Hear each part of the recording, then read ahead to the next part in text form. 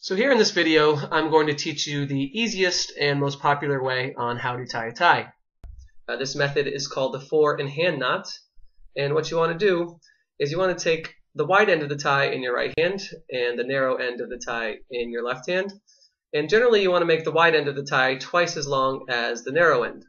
Um, each tie is a different length, um, so you probably have to pr practice a few times uh, before you figure out which length is the best, but generally you want the wide end of the tie twice as long as the narrow end.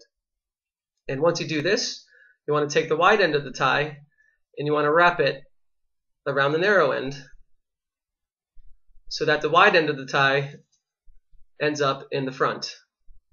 Notice how the wide end is in the front covering the narrow end. After you do this, you want to take the wide end of the tie and you want to take it and push it through the loop that's created by your neck. And notice how this knot is starting to form. And what you want to do is you want to take the wide end of the tie and push it through the knot.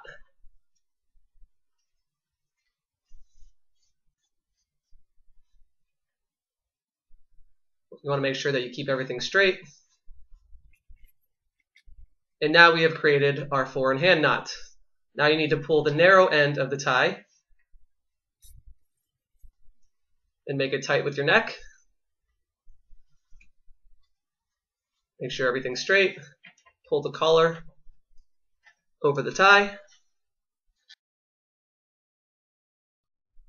And now we have completely finished our four in hand knot.